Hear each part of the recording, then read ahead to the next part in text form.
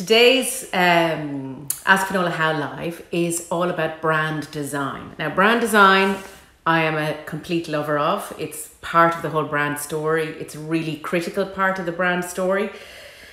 And the thing that I want to kind of start you with, and I have loads of ideas that I want to talk to you about. And the first one is this idea that a brand design is actually visual storytelling. And the best way to communicate, to understand brand, and to actually realize its importance to your business is to realize that it is visual storytelling. Now, in my experience, um, for some reason, many small businesses actually underestimate the power of visual storytelling, the power of brand.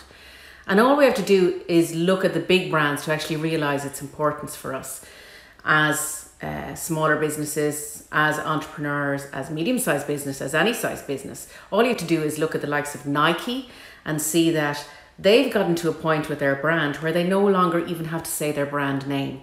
We look at their products and we see the swoosh on the shoe and we know it's Nike.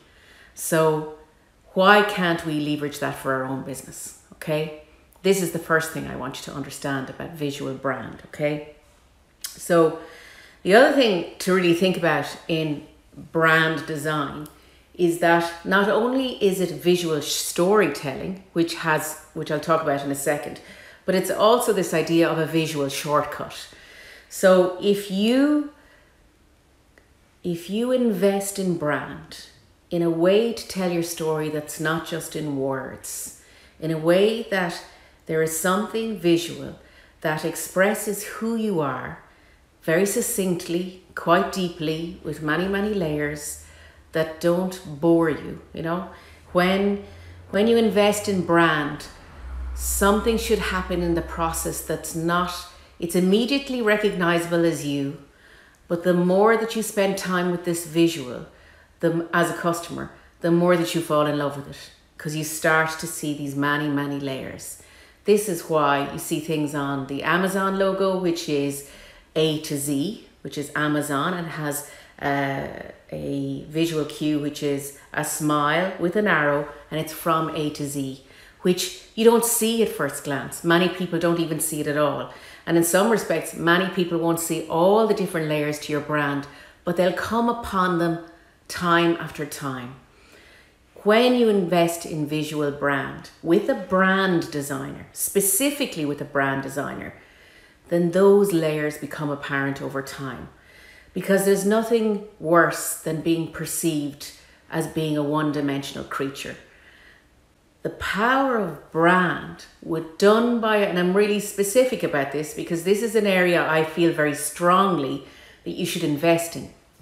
I mean, many things I like people to uncover themselves. I think they have the power to uncover themselves in their strategy. But here is a place, there are three or four key places they always advocate people invest. And this is one of those places that I say that investment is required. And investment is required in a brand designer because there's a difference between a brand designer and a graphic designer.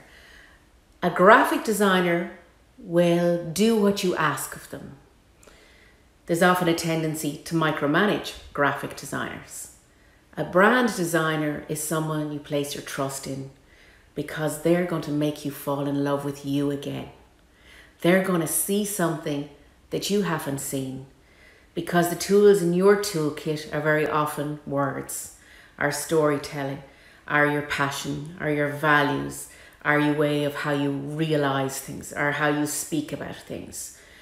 The brand designer is going to capture that in this moment that you will see something in yourself you never saw before and it's worthy of you. And it will allow you to stretch to take to be on your tippy toes when you think about who you are. Because you're not just having something uh, express who you are you're stepping into who you are and it's a stretch for you. So it's one of those really key areas that i strongly strongly advocate investment and that you give it the attention that it's due because it adds this other layer to who you are. Let's flick back to this idea of shortcuts, right? There are many stories of kind of everyday brands that we see, like toothpaste and things like that, like, you know, the commodities that we see. And just remember this when you think of your own brand that they very carefully do not change the color of that brand because people often shop by color.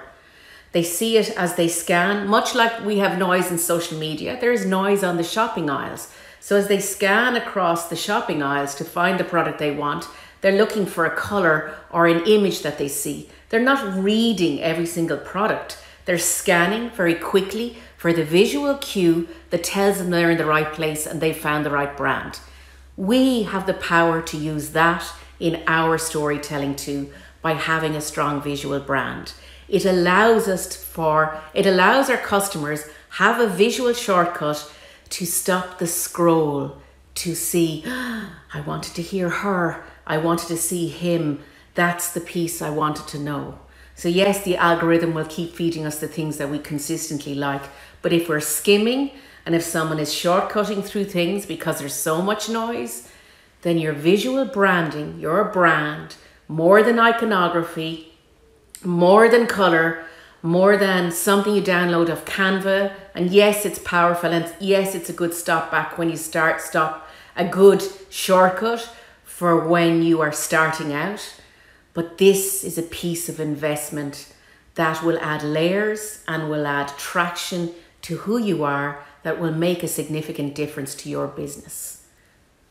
Am I saying that strong enough? okay. The other thing I kind of wanted to say to you, right, is I always know when someone has invested in brand because I ask them this question. And this is the question I ask them Do you love it? Do you love your brand?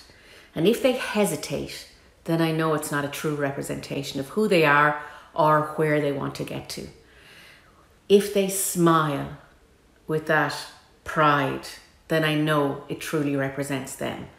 And I don't need to say, I don't need to give feedback on whether this brand is appropriate for them because if they love it, then it's theirs. That's the true test. If they've fallen in love with it, then it's theirs.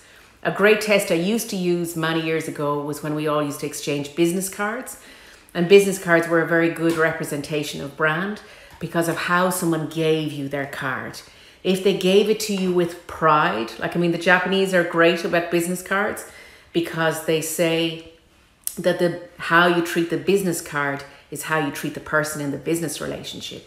So they always present a business card with pride and a pause and a comment to say, ah, oh, Finola, or oh, Mary, you got a promotion. Oh, I love this. Or they talk about this as if it's identity.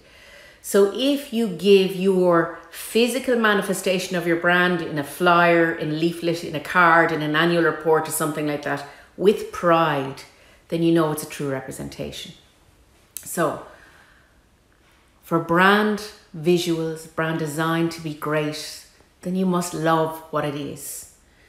I uh, advocate investing in it. If you find yourself working with a designer that you're micromanaging, then they're not a brand designer. They're not someone who can take your story and make you see things that you haven't seen in yourself or in your business that will make you fall in love with your brand again and with you, with yourself again.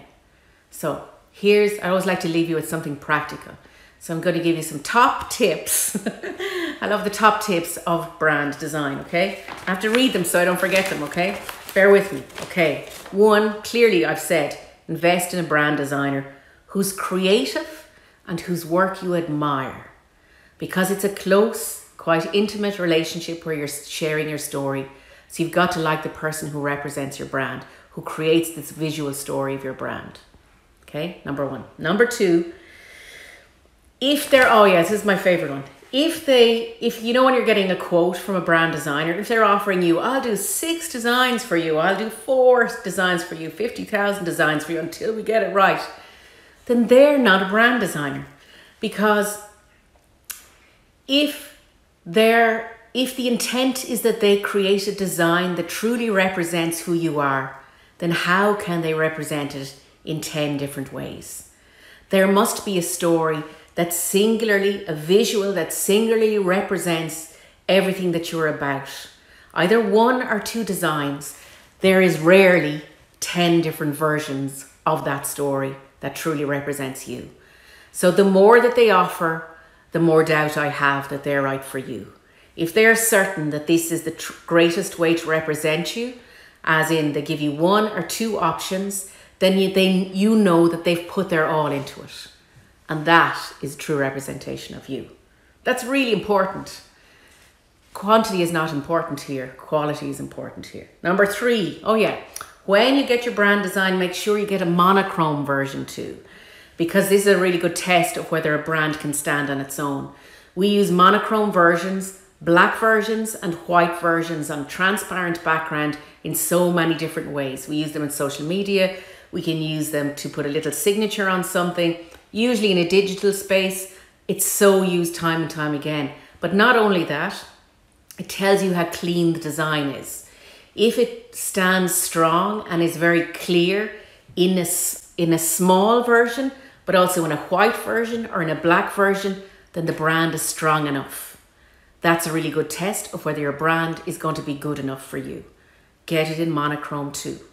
Next tip, okay? Yeah, number four. I always ask this from brand designers I work with. Ask for every component as a transparent ping because it means you have stuff to work with and you can use it all across your branding and how you tell your story. And it gives you the flexibility to get more from your brand to always be on brand in your visuals. So ask for every component that they build for you as a transparent ping. And all graphic designers, sorry, all brand designers that I've ever worked with that are worth their salt will do this readily. They're happy for you to use it in this way.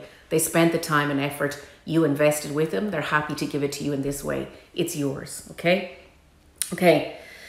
Also, another tip I have for you, step number five when working with a brand designer is ask to see it in situ. So don't just get it on a white background so you see it on its own. Ask to see it in action so that you know, oh, that's how you'd use it. Because remember, we're asking those people to create this for us because this is not our space, this is their space. So they can see it in their mind's eye where in a way that maybe we can't see it yet. So ask, for example, sometimes I ask people, if it depends on the client, sometimes I ask them for what would it like on the wall would be what would it be like on the wall as a plaque? What would it be like on a uh, social media post? What it would be like on, you know, two or three things, not too much because you don't want to um, take advantage, but you want to see how do I use it? So can you give me examples of how can I use it? And again, good brand designers will always do this for you, okay? Number six, yes, don't micromanage the relationship, okay? Find the brand designer that resonates with you, that can express your story, that you trust, that you love their work. Don't micromanage them. Give them your story. Tell them your story. Share your, your story and then trust them because then they can imagine. They've got the boundaries in which to work of who you are. Now let them create. I don't hassle brand designers when they're in the process to get them get me the brand faster. I want to do it within a reasonable amount of time. I do not nag because I want the space for them to create. That's really important. Give them the space, don't micromanage. They're not a graphic designer, it's not that. They are storytelling. Give them the space to use their imagination create something very powerful for you that you fall in love with yourself all over again because you got something that works. Yeah? Okay, number seven. if you're rebranding, here's the thing I see this all the time. If you're rebranding and your new brand has arrived and you're ready to launch, get rid of the old stuff. Do not have any of the old stuff hanging around. I've seen this time and time again. Kills me when one sign is left on a wall just because it's inconvenient to get a ladder to take it down or something leaks out onto letterhead. We don't want to waste the paper. Go put it into recycling. It's got to disappear. It's death by a thousand cuts by allowing another brand allowing your old brand to be leaking in at the same time as your new brand. It doesn't give you this firm line between the past and the future. And we need this firm line between the past and the future for this to work Get rid of the old stuff when you're bringing out the new stuff. Really important. It kills the whole point of the rebrand in the first place. Last one for you, all right? Oh, yeah. Once you've got that brand firmly in place, okay, you've got your proper launch, you've done it all, It's all gone right across all your media, all your touch points, all over the place. Don't be so rigid. Consistency is the first step on establishing your brand in situ. Being consistent, having no leakage, no old brand creeping in anywhere. Don't be lazy about that. But when you get to that point, when you have that consistency, give it space to breathe, give it space to evolve, allow it to be used in slightly different contexts so that your customers look at it slightly different and it doesn't become wallpaper. Allow it to grow, allow it to evolve. I love brand guidelines. I think they're really important. In fact, they're critical for brand rollout. But I also know that we can become too staid, too rigid, too restrictive and lacking in imagination and lacking in destination even or vision when we're too rigid about this. Yes, we can see it in Coca-Cola that they have the same shade of red every time, but they reinvent that brand and brand in loads of different ways over time with different campaigns. We have this solid spine of brand design, but then we've got to have space. Allow yourself the space once the consistency is in. That's all I have for you today, guys. I hope you design, hope you liked it. And what I would love to know from you today is do you love your brand?